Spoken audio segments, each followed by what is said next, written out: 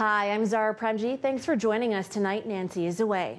To our top story, where the Jason Kenney government is firing the person investigating the UCP leadership campaign and reducing the power and independence of the Office of the Election Commissioner. Kim Trynacity has the details. They're calling it a cost cutting measure. Finance Minister Travis Toews told reporters they'll save money by combining the Office of the Election Commissioner with the Chief Electoral Office.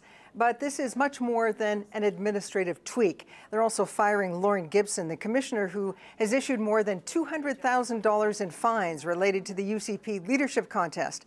Now, Toews was adamant that Gibson's firing has nothing to do with those investigations. This structural change will not affect ongoing investigations. We um, believe that a democracy, it's critical to protect the integrity of democracy in this province. And, and we believe that, that investigations that are ongoing, the right decisions will be made in terms of, of continuing with those investigations and, uh, and that there will be tr full transparency in that process. This, uh, this um, restructuring is about finding efficiencies and ensuring that we have the most defensible process and structure going forward.